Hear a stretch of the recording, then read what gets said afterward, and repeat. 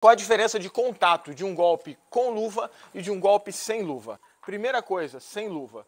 Os ossos da mão que batem na cabeça do cara são esses daqui.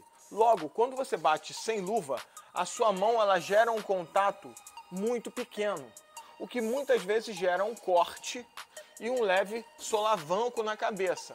Como a cabeça é dura, ela não abraça o golpe. O golpe bate na região dura, rotaciona a cabeça um pouco e passa.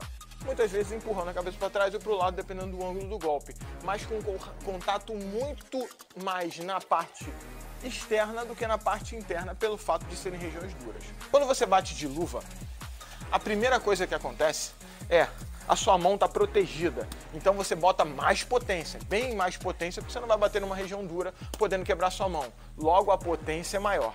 E a potência se dissipa, porque quando você bate com uma luva desse tamanho na cabeça de alguém, a, a parte acolchoada abraça a superfície da cabeça, gerando uma área de contato maior e essa, por sua vez, vai arremessar a cabeça com mais firmeza, como se uma mão inteira empurrasse a sua cabeça. Logo, as lesões com a luva são lesões internas que podem ser muito mais severas do que as lesões externas que geram mais sangramento, porém não são tão intensas por conta de não poder botar tanta potência para não quebrar a mão.